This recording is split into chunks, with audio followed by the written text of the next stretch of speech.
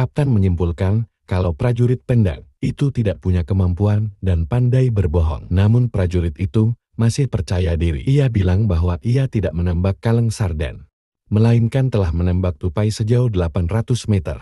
Kapten berkata padanya untuk berhenti berbohong. Tetapi ia malah lari ke hutan kemudian kembali membawa seekor tupai.